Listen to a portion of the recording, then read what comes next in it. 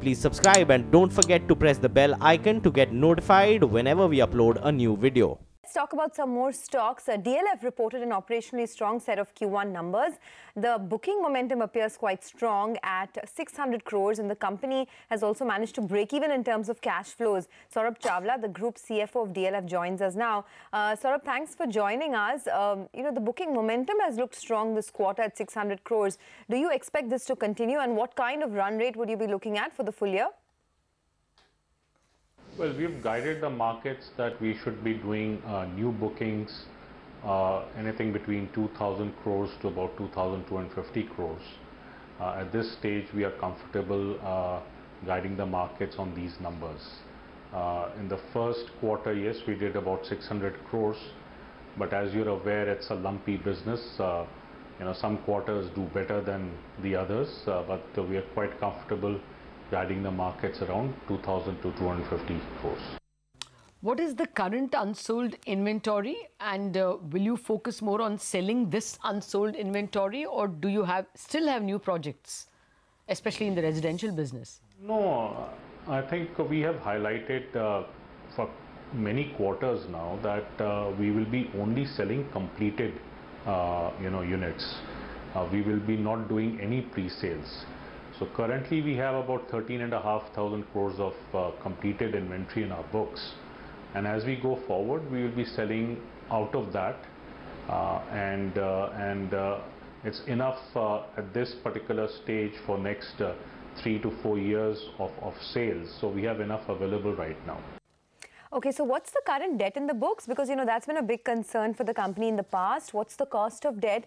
And if you are looking for more projects, what will the capex be? Or how much do you require? How will you fund it?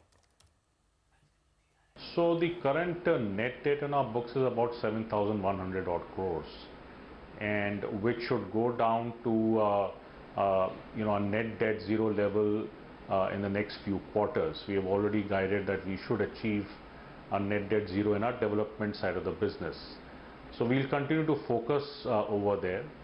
Our uh, requirements for new projects at this stage are pretty limited.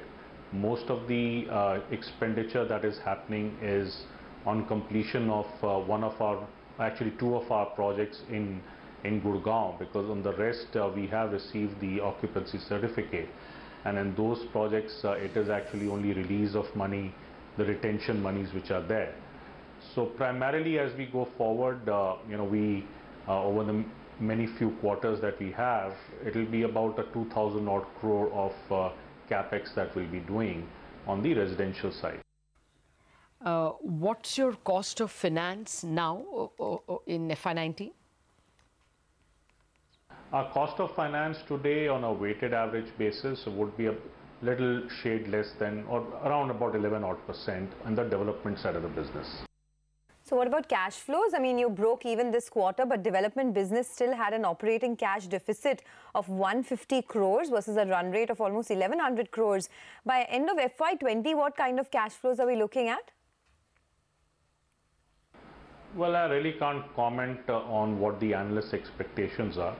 Uh, what we have always stated is that uh, as our business model moves forward and as our construction spend uh, you know reduces because most of the projects are now at that completion stage uh, obviously we will achieve our you know uh, positive cash from operations.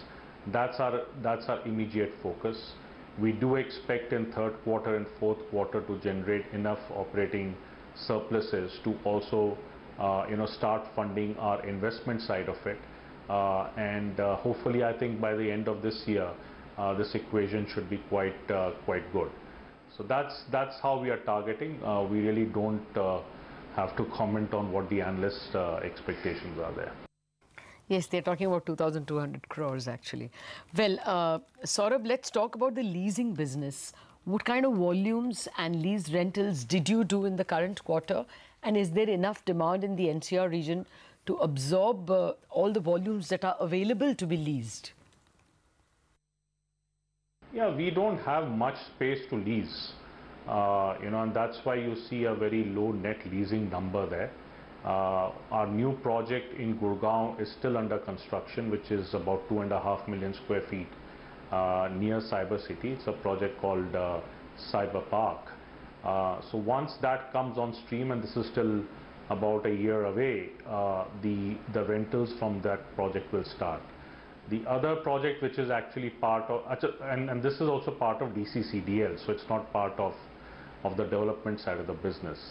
Uh, we have another uh, project in Chennai which the development side of the business is actually delivering to, uh, to DCCDL and uh, there it's uh, about a million odd square feet will get delivered during this fiscal year and actually the rentals will start next year. So I don't have actually much uh, left for doing leasing. It's, uh, it's uh, you know, it's more than 95% of uh, leasing that we have in, in, in, our, in our portfolio.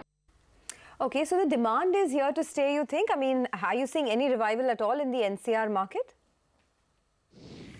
No, we are quite comfortable where we are, and I think uh, uh, we have consolidated our businesses uh, in various geographies. And uh, as we go forward, I think uh, we should start looking at growth in those geographies, uh, initially in the commercial space, but at some point of time, even in the residential space. Okay. Post RERA is availing a loan getting difficult for real estate business as a whole? We haven't experienced any, any such difficulties. Uh, uh, liquidity is fairly available, although interest rates have inched up uh, uh, as we can see from you know where the treasuries are. Uh, but there is there's no dearth of liquidity for bankable projects. we haven't faced any such issues.